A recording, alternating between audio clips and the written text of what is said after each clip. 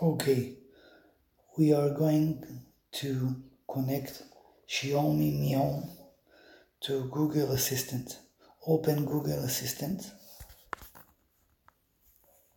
Go to More. Now on the menu under More. Go to Settings. Go to Google Assistant. Go to um,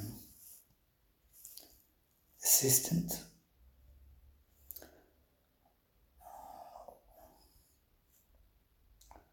home control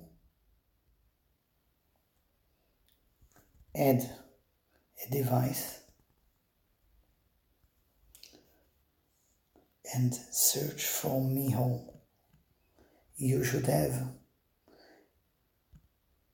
an, an account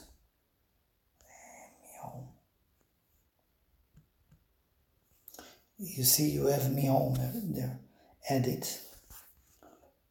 You should have an, an account for Mi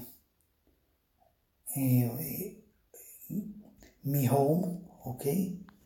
Let's see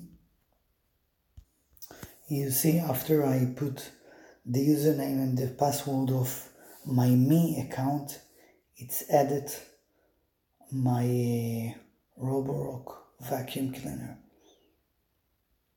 Then I can configure it like I want.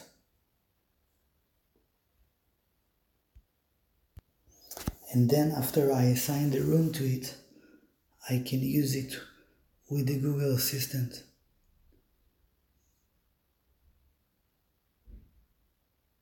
Let's see if it's work.